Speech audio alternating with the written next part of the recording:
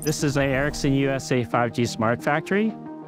We are using technology here to connect sensors of our machines. All the data that we are collecting, we can use to improve our efficiency. I want our smart assembly lines connected. I want our robots connected.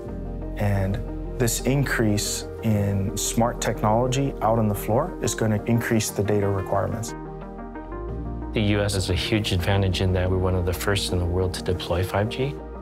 5G enables us to solve manufacturing solutions, and our ability to transmit that data in real time with 5G becomes more and more critical the more intelligent we get with our production systems. 5G spectrum gives us tons of bandwidth, which is really important for the great amount of new use cases.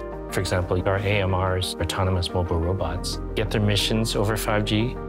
These robots allow us to create a safer environment for our employees.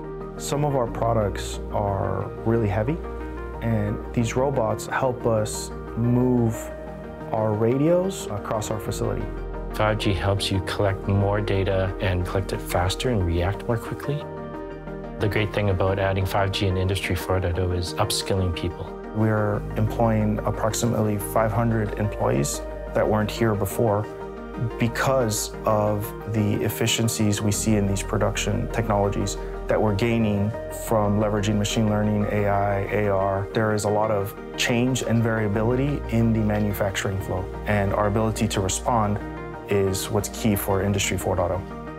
5G helps support the rebuilding of the manufacturing economy because in the US, you have to be able to pivot really rapidly. 5G gives you that agility.